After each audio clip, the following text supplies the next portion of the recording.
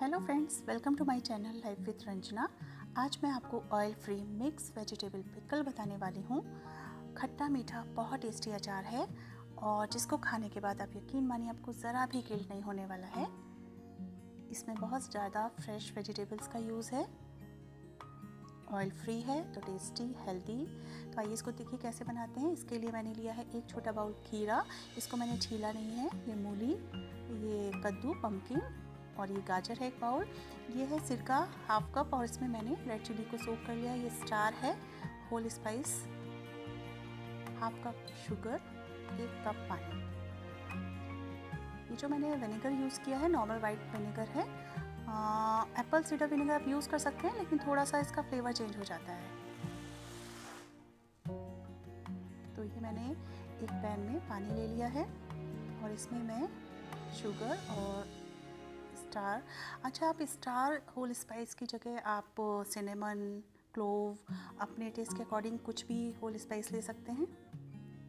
Sugar को बस हमें इसमें मेल्ट होने तक ही इसको पकाना है, ज़्यादा इसकी कोई चाशनी जैसी हमें नहीं बनानी है।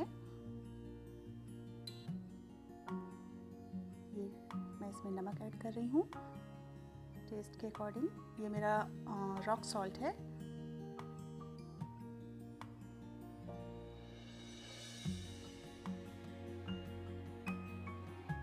देखिए सोप्ड रेड चिलीज, इसका मैं पेस्ट बना लूँगी। कई बार हम कॉन्टिनेंटल जब खाने जाते हैं तो वहाँ पर खाने से पहले हमें कई टाइप के स्नैक्स सर्व किए जाते हैं तो उसमें मैंने देखा है कि ये वाला पिकल भी कई बार सर्व होता है।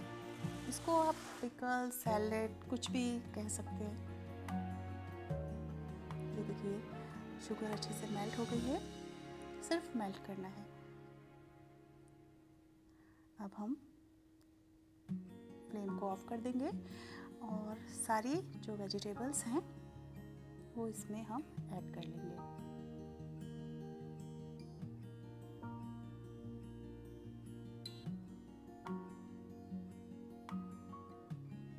इस पिकल को आप अपना इंडियन खाना, कोई भी दाल चावल सब्ज़ी पराठा आप इसको नूडल्स के साथ फ्राइड राइस मंचूरियन के साथ, किसी भी चीज़ के साथ आप इसको खा सकते हैं। ये मैंने इसमें विनेगर और रेड चिली का पेस्ट जो मैंने बनाया था, वो ऐड कर दिया है। हमारा पिकल बन के रेडी है। अब मैं इसे लगभग पाँच से छः घंटे के लिए इसको, ऐसे ही इसमें वेजिटेबल्स को सोख होने के लिए छोड़ दूँगी। विनेगर अपने आप में ही इतना ज़्यादा बेनिफिशियल होता है, हमारी हेल्थ के लिए कोलेस्ट्रॉल रिड्यूस करता है, हमारा ग्लूकोज लेवल मेंटेन रखता है वेट तो रिड्यूस करता ही करता है। देखिए पिकल को भिगाए हुए एकदम चार से पाँच आवर हो गए हैं और ये मैं इसको एयर टाइट कंटेनर में भर लूँगी और इसको हमें रेफ्रिजरेटर में रखना है। इसको हम फिफ्टीन डेज़ तक यूज़ कर सकते हैं। इसमें जैसे मैंने पम्पकिन और खीरा का इसको पील नहीं किया है, क्योंकि इससे इसमें क्रंच रहता है। हमारा टेस्टी पिकल एकदम रेडी है हेल्दी आप इसको बनाइए और अपने व्यूज़ मेरे साथ शेयर कीजिए। अगर मेरा चैनल अच्छा लगा है तो लाइक और सब्सक्राइब कीजिए।